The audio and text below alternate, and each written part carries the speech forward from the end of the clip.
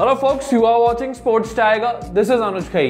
Virender Sehwag ji हाँ जब भी ये नाम हम सुनते हैं तो हमें बॉलर्स की धुनाई याद आती है चौके छक्कों की बारिश याद आती है क्योंकि इतने ज़बरदस्त वीरेंद्र सहवाग बल्लेबाज थे लेकिन वीरेंद्र सहवाग के बारे में एक वाक्य हम आपको ऐसा बताने वाले हैं जिसे सुन के आप हैरान हो जाएँगे परेशान हो जाएँगे लेकिन हँसी के साथ साथ लोटपोट भी हो जाएँगे जी हाँ एक ऐसा वाक्य वीरेंद्र सहवाग का जो कि उन्होंने खुद ने एक इंटरव्यू में बताया है जहाँ पे उन्होंने एक अंपायर को असद रौफ को रिश्वत दी थी। जी हाँ रिश्वतखोरी घूस जो है, वो वीरेंद्र सहवाग ने दी थी। पैसों की वो रिश्वत नहीं थी। दरअसल वो रिश्वत जो थी, वो किसी और ही चीज़ की थी। उसके बारे में हम पूरी तरीके से डिस्कशन करेंगे, बातचीत करेंगे, लेकिन स्पोर्ट्स टाइगर को अभी तक आपने सब्सक्राइब नहीं किया है। तो भैया, देरी किस बात की है? फटाफट सब्सक्राइब करिए चैनल को। नोटिफिकेशन की जो घंटी है उसे भी फटाफट प्रेस कर दीजिए। चलिए, अब आपको बताते हैं कि दरअसल पूरा किस्सा क्या है, पूरा मसला क्या है। वीरेंद्र सहवाग और असद रौफ बहुत ही अच्छे दोस्त थे और वीरेंद्र सहवाग को ये तो पता था कि असद रौफ को ब्रांडेड कपड़े खरीदने का बड़ा शौक है, ब्रांडेड जूते पहनने का बड़ा शौक है।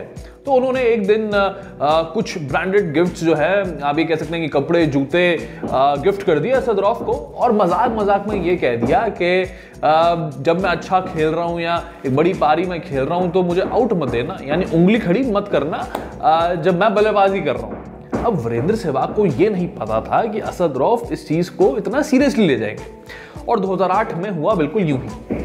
2008 मोहाली टेस्ट मैच भारत बनाम ऑस्ट्रेलिया विवेश लक्ष्मण ने उस मैच में भारतीय टीम की नैया पार लगाई थी और उस टेस्ट मैच में कुछ यू हुआ।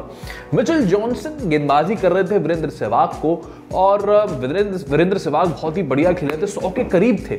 ऐसे में एक अपील होती है मिचेल जॉनसन के साथ साथ पूरी ऑस्ट्रेलियन टीम अपील करती है, लेकिन असद रौफ जो है, वो उंगली खड़ी नहीं करते हैं। ऐसे में रिकी पॉन्टिंग जो है वीरेंद्र सहवाग के पास जाते हैं कि वीरू, बताइए कि आपका एज लगा है? तो वीरेंद्र सहवाग कहते हैं हाँ जी, बिल्कुल एज लगा है। अब अंपायर के पास रिकी पॉन्टिंग जाते हैं। वो कहते हैं कि भाई, आपने आउट क्यों नहीं दिया? वीरेंद्र सहवाग खुद कबूल कर रहे हैं कर रहे हैं कि उन्होंने जो है, निक किया है, एज लगा है। ऐसे में असद रौफ कहते हैं कि ठीक है जी, आप लेके चलिए मुझे वीरू के पास उनसे जानता हूँ, फिर देखते हैं क्या किया जाता है। फिर जो है वीरेंद्र सहवाग के पास रिक्की पॉन्टिंग और असद रौफ दोनों जाते हैं और पॉन्टिंग पूछते हैं कि वीरू बताइए, आप अंपायर को कि आपने एज जो है बिल्कुल लगा है? तो ऐसे में वीरेंद्र सहवाग कहते हैं कि नहीं जी एच तो नहीं लगा। तो फिर पॉन्टिंग कहता है, अभी आपने तो मुझे बताया कि एच लगा है। अब ऐसे में फिर वीरेंद्र सहवाग जो है वो सीधा क्लियर कट कह देते हैं कि भैया ऐसा है कि आप अपना काम करिए फील्डिंग करिए, और क्योंकि आप भी जब बल्लेबाजी करते हैं और आप भी जब भी एज लगता है निक लगता है कीपर के बाजू में तो आप कभी क्या जाते हैं? नहीं जाते हैं ना? तो आप मुझे अपना काम करने दीजिए, असद रौफ को उनका काम करना, करने दीजिए, और आप फील्डिंग और कप्तानी करिए।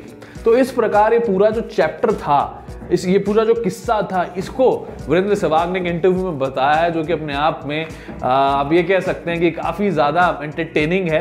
एट द सेम टाइम ये भी देखना बड़ा दिलचस्प हो गया कि भाई असद रौफ ने आउट जो है क्यों नहीं दिया? क्या वो और ऐसे गिफ्ट चाहते थे? वीरेंद्र सहवाग के द्वारा और भी खिलाड़ियों के द्वारा तो ये पूरा किस्सा जो था ना, ये बहुत ज़्यादा इस वक्त चर्चा का विषय भी बना हुआ है और वीरेंद्र सहवाग जो कि हमेशा से एक एक अलग ही पर्सनालिटी लगे हैं पूरे इंडियन क्रिकेट की जब मैं बात करता हूँ, गाने गाते गाते वो शॉट्स खेलते थे, चौके छक्के लगाते थे, एक अलग ही अंदाज, एक अलग ही शैली के खिलाड़ी वीरेंद्र सहवाग थे और असद रौफ जो कि एक एलिट पैनल का सदस्य थे आईसीसी की जब हम अफाइज की बात करते हैं लेकिन 2013 में आ, कुछ स्पॉट फिक्सिंग की एलिगेशन उन पर लगी और उसके बाद उनको जो है बैन कर दिया गया अंपायरिंग से और जिस तरीके से किस्सा सामने आया है हमें बिल्कुल भी हैरानी होनी नहीं चाहिए, क्योंकि इससे ये पता लग सकता है कि क्या असद रौफ और भी इस तरीके की चीज़ों में इन्वॉल्व थे। ठीक है, ये तो मज़ाक मज़ाक में ये चीज़ हो गई, और वीरेंद्र सहवाग ने एक्सपेक्ट नहीं किया था कि असद रौफ ऐसा कर देंगे